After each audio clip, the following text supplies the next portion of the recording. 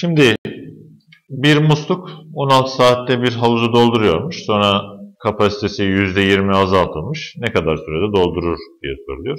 Şimdi %20'si azaltıldığına göre biz şöyle düşünelim. Yani havuzumuzu şöyle düşünelim. Musluğumuz açılıyor. Şimdi süre üzerinden değil de akan su üzerinden düşünelim. Akan suyun kapasite dediği şey o zaten. Musluktan akan su. Miktarı %20 azalıyormuş. %20'si alınabilen bir şey verelim. Başlangıçta 100x akıyor olsun. Eğer 100x su akıtıyorsa bizim musluğumuz 16 saatte doluyormuş. 16 saat. Sonra %20 azaltılacak. Yani %20'si kadar azalacak. Bu birinci durumda. İkinci durumda buradan akan su miktarı artık daha az olacak. %20 daha az. O da 80x'e dönüşecek. %20'si kadar azaltıyoruz. %20'si 20 azaltınca 80x olacak.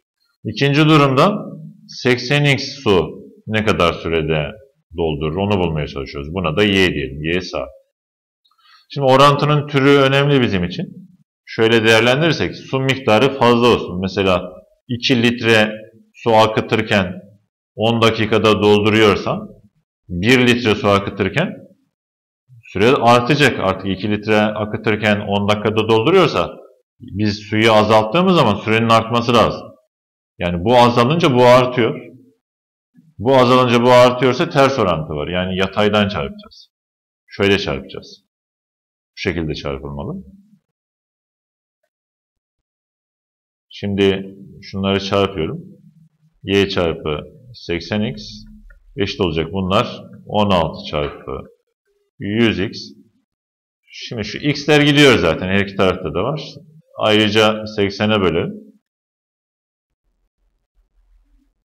Şu 80'ler de gider. Buradan sıfırları çizeriz. Yeniden yazıyorum çok karışmasın. y eşittir 16 çarpı 10 bölü 8. Şunları da sadeleştiriyorum. 8'e bölüyorum 1, 8'e bölüyorum 2. 2 çarpı 10'dan 20.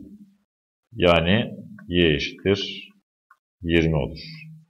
20 saatte doldururmuş.